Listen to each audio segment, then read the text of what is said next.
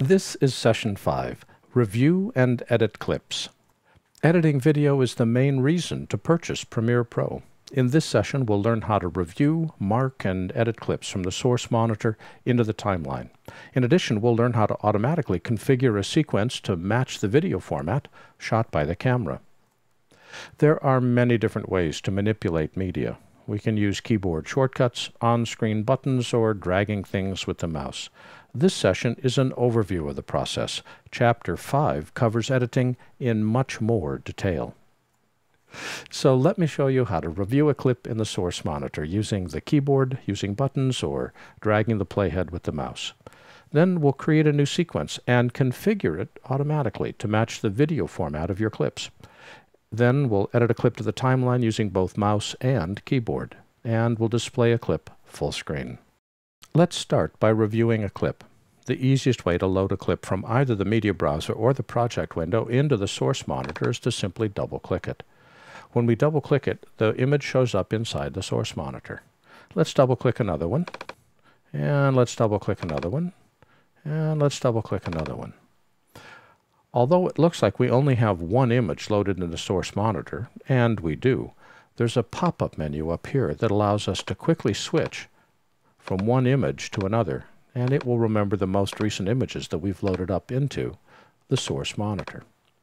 When it comes time to play, we can click this button, which plays or stops, spacebar to play, spacebar to stop. We can also use the JKL keys. The letter L plays forward, K stops, J plays backwards, K stops. Hold K and L down at the same time, it goes slow motion forward. K and J down at the same time goes slow motion backward. Or type L a couple times, it goes double speed forward. J a couple times goes double speed back. The process of marking a clip means to indicate where you want that particular shot to start, we're going to mark an in, and where you want that shot to end, we're going to mark an out. Marking is always done at the position of the playhead, so I want to say, let's start with her hands on her ears and type the letter I to set an in. And we'll go over to about there, and we'll type the letter O to set an out. We can jump to the end by typing Shift I, jump to the out by typing Shift O, Shift I, and Shift O, jump between the two. And what we've just done is we have marked the clip to get ready to edit, except notice that the timeline window is totally blank. This means that we haven't created any sequences. Now normally when you start Premiere for the first time it automatically creates a sequence, but I deleted it because I wanted to go through the whole process of creating a sequence. To create a new sequence, we could go up to the File menu, go down to New Sequence, keyboard shortcut is Command N, or we could go down to this icon right here, which is the New Item icon, click it, and again we can create a new sequence. It pops up the same dialog that we saw when we were creating a new project. We get to specify what this format is. And I'm going to pretend that I'm working with DVNTSC, which is 30 frames a second, and we'll work with widescreen and we'll click OK. We'll leave the rest of the settings alone. There it opens the sequence up inside the timeline window and it gives it a name. Because I've been doing some rehearsal, it's called Sequence 4. I'm going to click directly on the name and rename it. And I have learned that because the project panel always alphabetizes material, I start with a space. That way all of my sequences bubble up to the top. SEQ dash, because it makes me feel good. Mm, my first edit, because I got to give it a name press the Enter key. And now it automatically names that file. And if I click this, it says sort alphabetically in descending order, sort alphabetically in ascending order. There's my sequence. Okay, watch this. I'm now going to edit this down to the timeline. There's my sequence, my first edit. I'm all excited. See these two buttons right here? This button does an overwrite edit. This button does an insert edit. When you're getting started with a new project, use the overwrite button. We'll talk more about these in chapter 5 when we talk about editing. Okay, you ready? Watch this. One, two, three, click. And there's my clip in the timeline. Except we have a problem. We've actually got several problems. The first problem is this is an HD clip and I set my sequence to be NTSC, which is standard def. I'm only seeing a small portion of that shot. Second, this is a 25 frame a second shot. It's shot PAL. This is NTSC. It's at 30 frames a second. My frame rates don't match. Oh, calamity. How am I supposed to figure this out? Do I have to be a rocket scientist and decode the video before I can even edit? And the answer is in the past. yes, but not now. I'm going to select this clip here and just hit the delete key and make it disappear. Highlight, delete. What I want to do is I want to create a new sequence and have it automatically configured to match my clip. So I'm going to grab my youth culture, drag the clip on top of where it says new item. It automatically says, hey, you want to create a new sequence. And you're going to edit it based upon the in and the out that we've already set. Notice the in and the out are set here. They're reflected in the timeline hands-on headsets in both cases, and it named the sequence after my clip. Well, that's kind of foolish because I want to call this my sequence, so space SEQ, my second edit.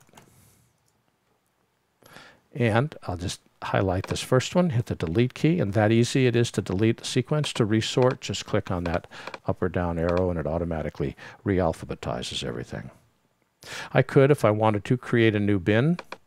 We'll call this media grab my clips and drag my clips. I'm just dragging a rectangle to select them.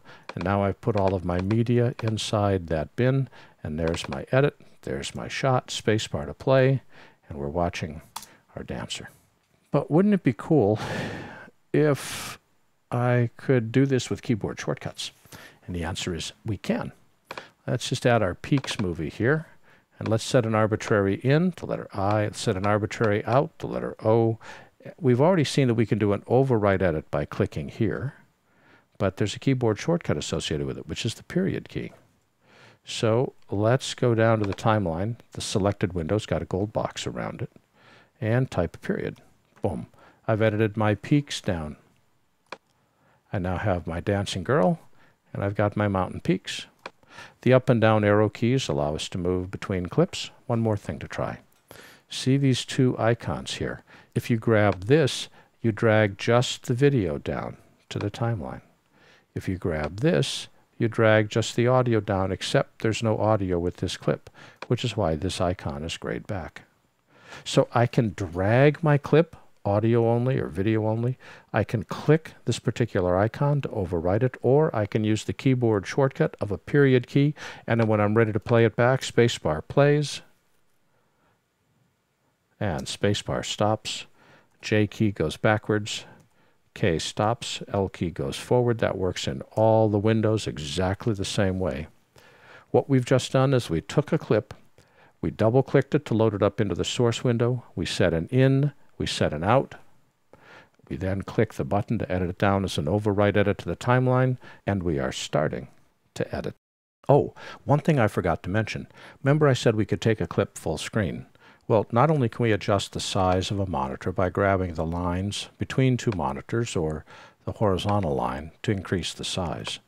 If we're in the source monitor, pressing the tilde key blows the window up, but I see all of my machine controls. What happens if you want to study the actual image itself? Well, what you do is you hold Control tilde and it blows up full screen. Notice there's no machine controls. Now you need to use the spacebar to start, spacebar to stop, or the J key to go backwards, K, L. And then to get back again, Control tilde, and you're back again.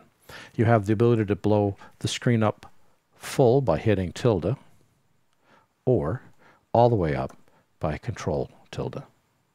Tilde, by the way, is the key that's right above the Tab key in the top left corner of your timeline. Premiere is optimized to make editing fast and efficient. As you'll learn in Chapter 5, there are a wealth of editing tools and shortcuts that we can use to give us complete control over the editing process. Thanks for watching.